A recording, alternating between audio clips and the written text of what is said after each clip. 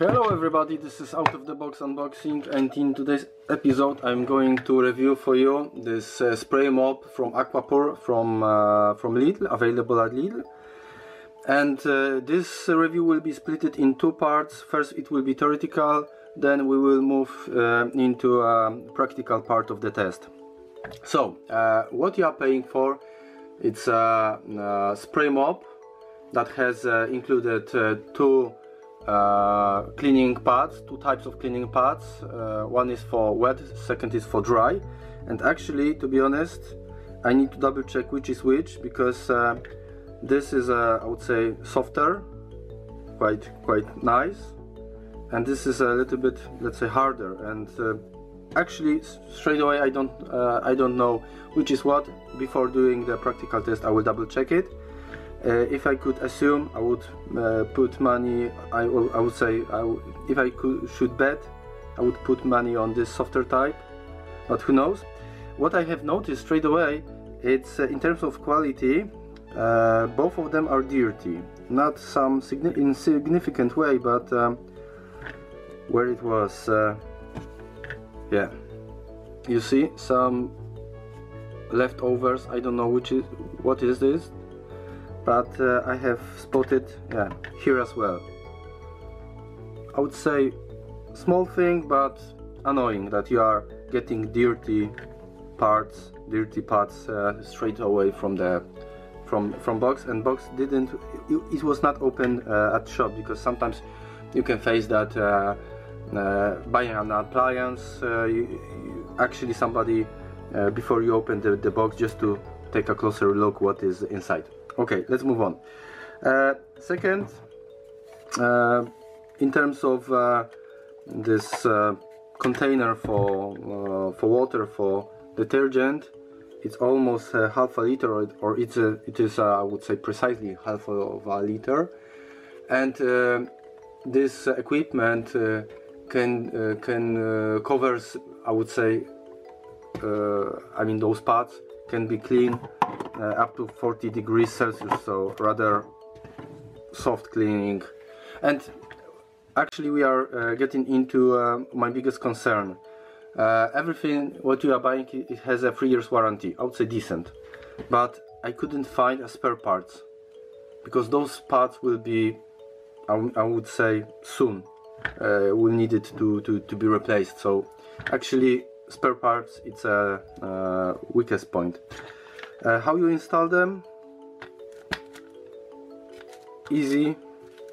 I have uh, let's say mixed feelings in terms of uh, surface coverage because um, okay those are quite small. And if you press it down it should touch I mean the whole surface should have a contact.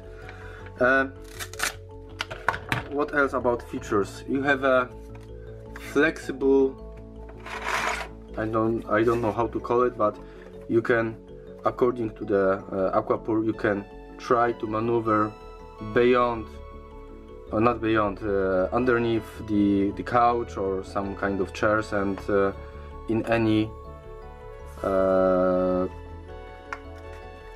in any um, parts or any any any anywhere that it's uh, it's hard to maneuver. So I'm taking as a granted. Okay uh, I didn't assemble it so it will be as well uh, my first time so we, you will be able to see is it easy or not? Okay plug and play. Uh, what I do like is this this hook. Simple thing but after using it you can uh, just hang it away somewhere so very good uh, feature. Uh, spray container we are actually starting uh, spraying by using this bar. So yeah.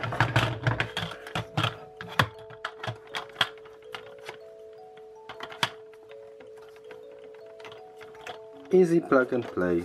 Almost easy a little bit force is required.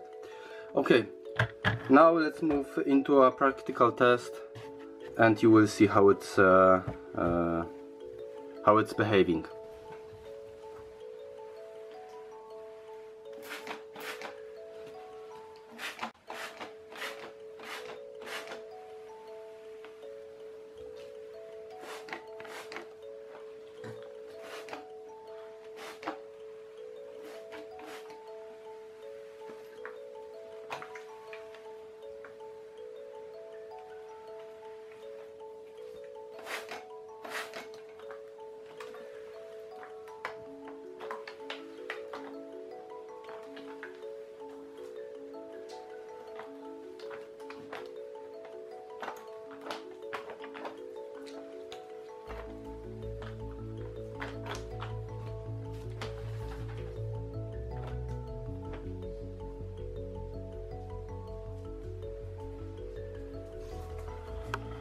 As a summary, uh, for me it's a little bit too complicated. I really like this uh, flexible uh, thing, this flexible extension. Could be uh, for some someone of you, some of you, interesting. And the spraying feature, I'm not so convinced uh, really about uh, the practicality.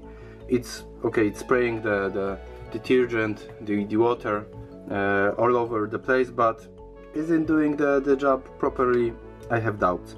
I'm curious about your opinion, and as always, thank you for watching, stay tuned, and see you next time. Bye.